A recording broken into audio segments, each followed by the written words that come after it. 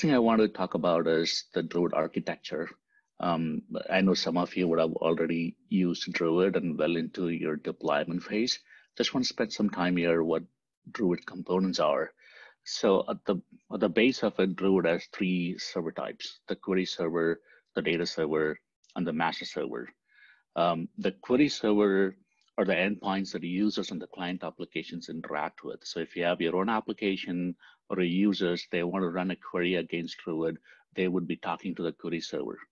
Um, the query server runs what we call the Druid broker and the router process inside it.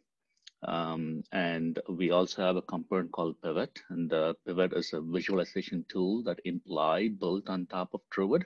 It tightly integrates with Druid and gives you really drag and drop ad hoc analytics on, uh, on, Druid. And then that's a, and then we have a data server. The data server stores and ingests data. the data server runs two critical components, the Druid historical nodes that's used for storage and processing of large amounts of immutable data, and the Druid middle managers. They are responsible for ingesting and processing the data. Um, the real-time data uh, that Rob talked up talked about is, is, is ingested and managed via the Druid uh, middle managers.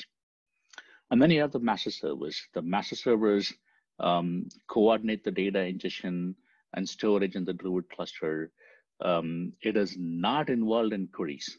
Um, it is responsible for starting new ingestion jobs, telling the Druid uh, middle manager to start a new ingestion jobs, and handling failovers of Druid historical nodes.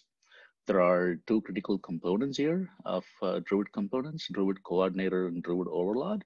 Um, on top of that, we also use Zookeeper for cluster coordination.